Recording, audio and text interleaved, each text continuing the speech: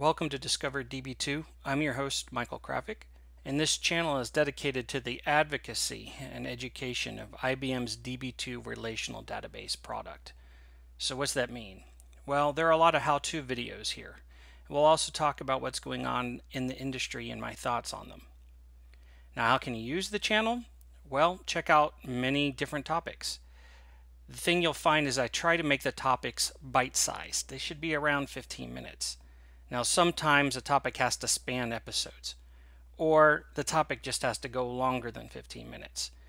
If you run into this, I've done two things to help you out.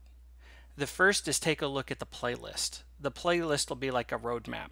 If I have something that covers three episodes, they'll be encapsulated there. The other thing I've done is made notes in the description underneath the video. Not only will it tell you what the overview is of this topic, but it'll give you timestamps right up front. So if you're looking for a command specifically and you don't want to get context around it, you can go exactly where you need to go.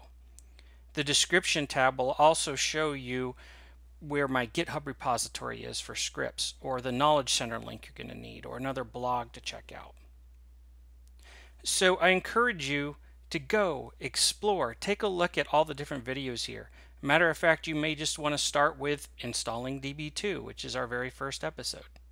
Now, if you find that you like an episode or you like this channel, do me a favor and actually hit the subscribe button. This will keep you in the loop of when I post different episodes, and you'll be able to check out what topic is going on for that week. So that's it. Go explore, see what's out there on my channel, and please give feedback or suggestions on a topic for another time.